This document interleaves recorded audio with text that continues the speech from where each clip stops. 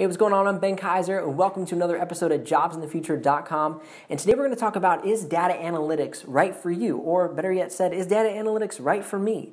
Stay tuned, and we're going to fill you in on all the details.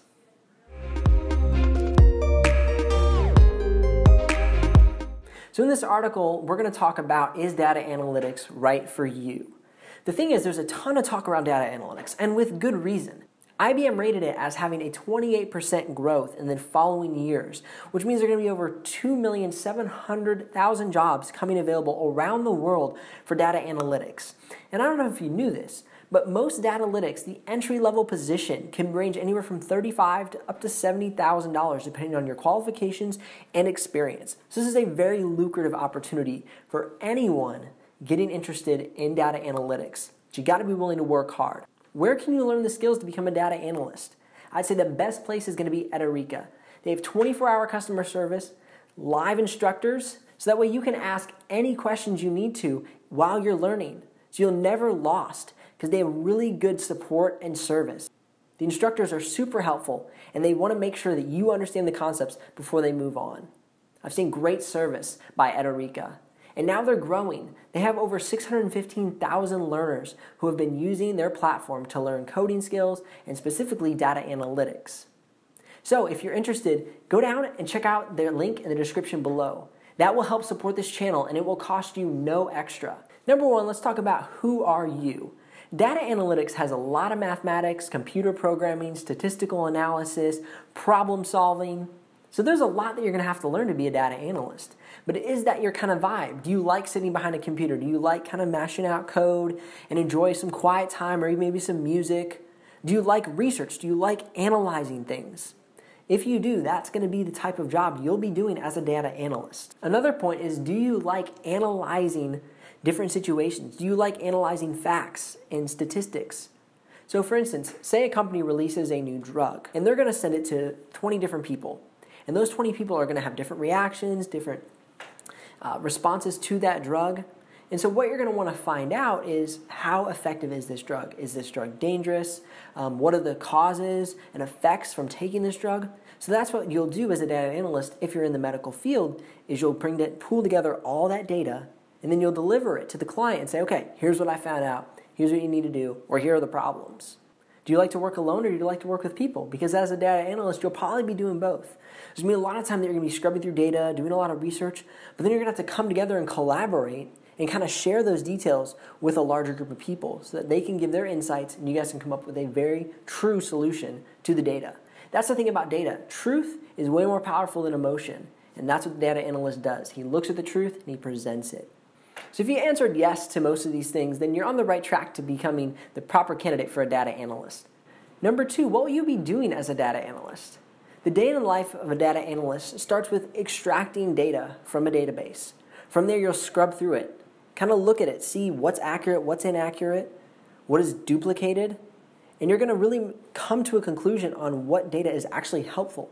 Then you'll take that data and analyze it and come up with solutions and predictions with what the specific research you are holding is going to do for your client. For instance, let's say you have to understand how many people downloaded and are using an application in a specific city. So extract all the data and you'll make sure that it's all accurate. And then you'll see who's using it, which age demographic, how long they're using it, where they're using it in the city. And then once you understand that, you can give that to your client and they can develop a better marketing solution for their app. As a data analyst, you're going to need four basic skills. That's mathematics, computer programming, knowing the tools of the trade, communication and presentation skills. The mathematics is because you're going to have a lot of tools that are going to do and work through these different solutions and analysis problems, but you still need to know at your base level what it's doing. Because if the machine doesn't read it correctly, you're still going to have to go through, scrub, and analyze that data for yourself. And that's important to have very strong mathematical and statistical skills. The second skill you're going to have is computer programming. Whenever you're, you're drawing out data, you're going to be using programming languages in order to query data, in order to create automated systems to analyze the data and spit out solutions. So having computer programming languages is extremely powerful. The three computer programming languages that are in top priority for data analysts is Python, SQL, and R. Those are a great start. And as far as the mathematics is concerned and the statistical analysis, you're going to have a firm grip on Microsoft Excel. Now, the third skill is knowing the tools of the trade. And that's tools like Hadoop or OpenRefine, Tableau. What these will do is these will heighten your proficiency as a data analyst. So make sure you're all tuned up on the tools of the trade. And the fourth thing you're going to want to know how to do is communicate and present your findings with great accuracy and clear communication. The reason being is a lot of CEOs and heads of departments don't really know what you do as a data analyst. So if you come in with a whole bunch of jargon, that's not going to help them at all. In fact, they're going to look at you kind of cross eyed because they really don't know what you're talking about. So you need to be able to break it down simply in order to explain it to somebody who is not an expert in the industry. So become a generalist in your knowledge. I mean, it's like when I try and explain these videos to you, I don't go into all the deep intricacies of what it means to be a data analyst because you're just interested in becoming one.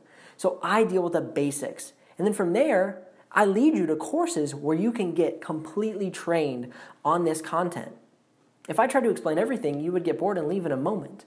But I just explain the basics so that way you can get interested. And if you're truly interested, you dive in and you learn more. That's the kind of presentation you want to give. You want to give the basics and you want to give the content, not all the extra fluff. In talking about learning, the best place to learn is Edureka. With 24 hour service and live instructors, you're going to get the best education possible because you have somebody right there to ask questions with, somebody there to troubleshoot your misunderstandings with. They have over 600,000 satisfied customers and learners on their platform. And the number continues to grow every day. I mean, a video I filmed a while ago, it was 589,000, and then it was 610,000. And I believe now it's pushing 615,000 people. So head on over to Edureka and get educated for a data analyst.